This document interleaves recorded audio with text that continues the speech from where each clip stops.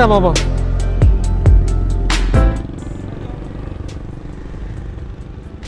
Kita masuk ke area pesarian, pesarian Mbah Gendro. Nah, ini teman-teman.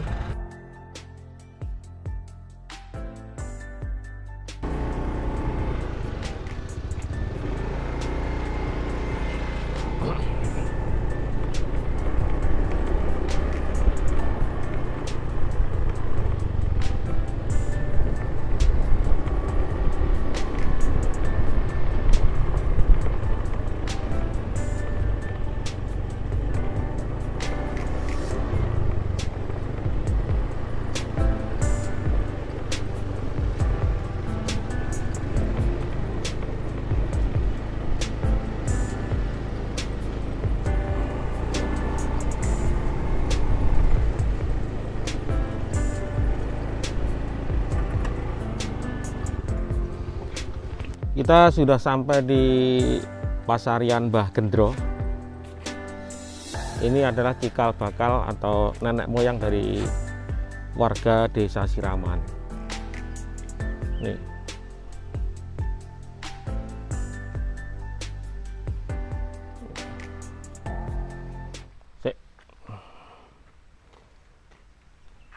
Nah, jadi teman-teman kemarin itu ada pertanyaan yang simpang siur mengenai siapa Mbak Gendro itu. Orang-orang taunya Mbak Gendro itu kan laki-laki atau Mbah Kakung ya, tapi sebetulnya Mbak Gendro itu perempuan gitu loh. Caranya ada di sini. Ini lokasinya. Yuk kita, kita lihat mas.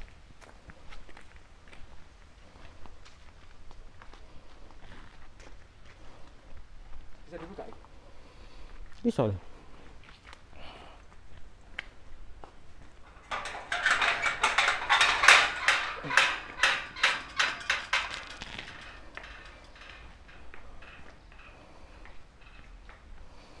Nah, assalamualaikum warahmatullahi wabarakatuh.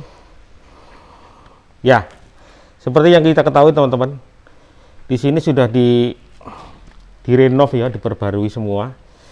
Ini adalah makam dari cikal bakal desa Siraman. Yang lebih terkenalnya ini ada pasarannya Mbah Gendro. Ini. Mbah Gendro. ini yang dinamakan Mbak Gendronya itu yang putri ini teman-teman dan kalau yang yang kakung itu namanya Mbak Suwijoyo Ini adalah suami dari Mbah Gendro. Mbah Gendro. Ini suami dari Mbah Gendro. Gitu. Kalau yang di sebelah ini, saya rasa ini juga saudaranya atau enggak mungkin anaknya ya teman-teman. Saya juga sedikit kurang mengerti. kalau yang ini masih saudaranya mas Hmm, jadi ya. kemarin yang saya dapat informasi itu ini ada saudara-saudaranya Mbak Gendro sama Mbak yang Suwijoyo kalau yang ini nah ini sebetulnya ada Oh, ini juga makam? Bukan? makam ya cuman saya kurang tahu kok nisannya sudah nggak ada gitu loh ada di sini mas dulu ada dua kok gitu loh cuman kok apa dipindah atau gimana karena memang Ya mungkin karena no name teman-teman.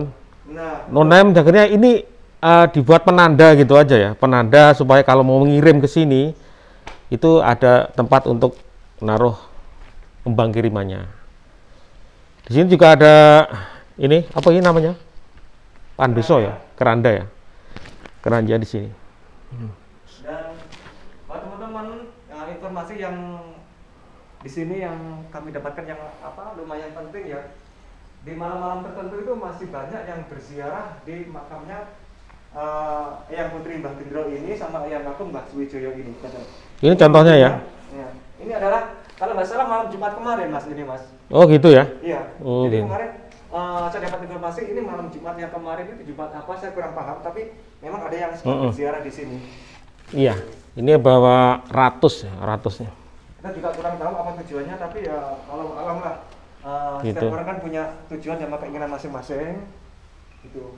Tapi memang ini pas malam Jumat yang kemarin itu mas. Jadi masih ada yang berziarah di sini.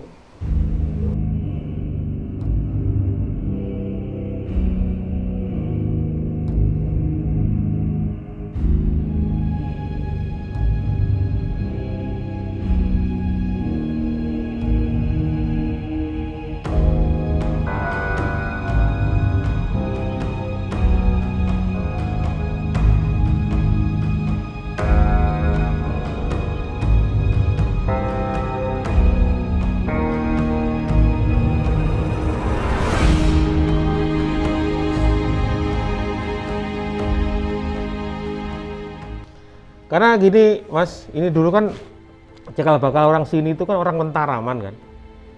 Orang Mentaraman. Jadi Mentaraman. Jadi kalau zaman dulu itu mereka melakukan ekspansi atau mungkin kalau biar arahnya apa ya? Arahnya itu ngungsi atau gimana gitu loh. Karena terjadi iya. per- peperangan gitu.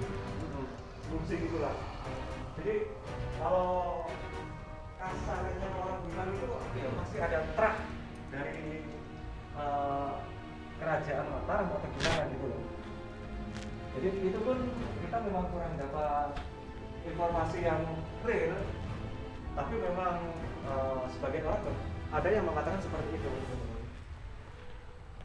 nah kalau eh, Oh ini silsilah ya? Nah, di sini juga ada informasi tentang silsilah, di sebelah ini jenjang, di sini ada yang putri gendro. Nah ini teman-teman silsilahnya. Oh gitu ya.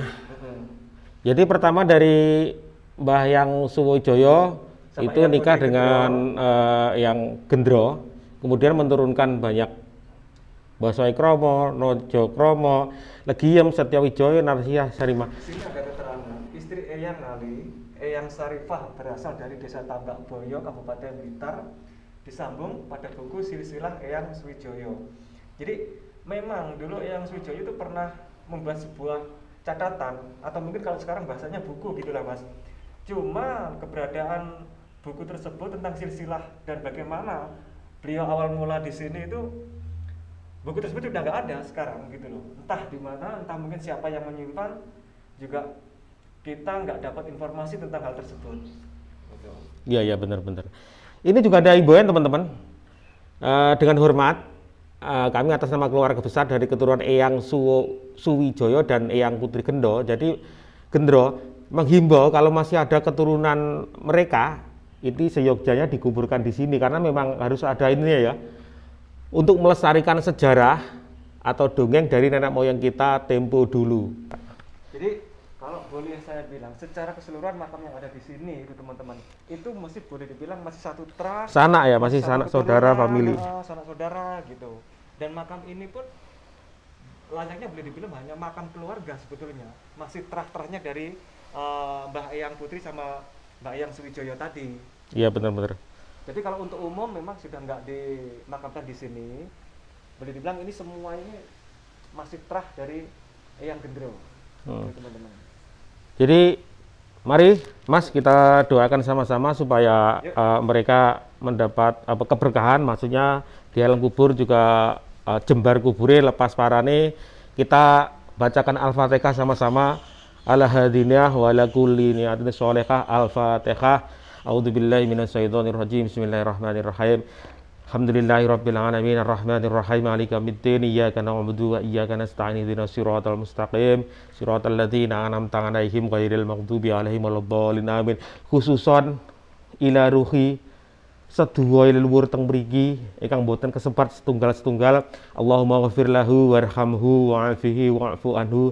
Allahumma ghafir lahu warhamhu wa'afihi wa'fu anhu. Allahumma ghafir lahu warhamhu wa'afihi wa'fu anhu. Al-Fatihah A'udzu billahi minasyaitonir rajim Bismillahirrahmanirrahim. Alhamdulillahi rabbil alamin. Arrahmanir rahim maliki yaumiddin. Iyyaka na'budu wa iyyaka nasta'in. Ihdinas siratal mustaqim. Siratal ladzina an'amta 'alaihim ghairil maghdubi 'alaihim waladdallin. Amin hanya itu teman-teman yang bisa saya kirimkan karena kebetulan hari ini saya nggak bawa ini ya nggak bawa kembang juga harusnya kita bawa kembang mas Ini bekas juga masih baru loh teman-teman. Nah ini masih ada apa itu bekas dari ratus ini sendiri terus air minum, minum di situ juga masih ada. Memang ya seperti yang kita bilang tadi kalau di malam-malam tertentu masih banyak yang istilahnya berziarah teman-teman. mungkin itu aja teman-teman hand Bob Explorer ya terima kasih sudah mengikuti kami Eh, jangan lupa kalian like komen kemudian subscribe eh, bantu kami bantu channel kami ini lebih berkembang karena kalau kalian komen subscribe kalian komen juga tentu kami akan lebih bersemangat lagi untuk membuat video-video yang lainnya bener mas ya betul ya Betul-betul. Dan juga buat teman-teman eh, subscriber, kalau mungkin kalian pengen kita mereview makam yang unik atau yang apa, kalian bisa cantumkan di kolom Ya, benar-benar. ini. Jadi insya Allah kita nanti eh, atur waktunya kita bisa datangi tempat tersebut. Gitu. Oke, oke. Sekian dari saya, segitu Mas Hendrik.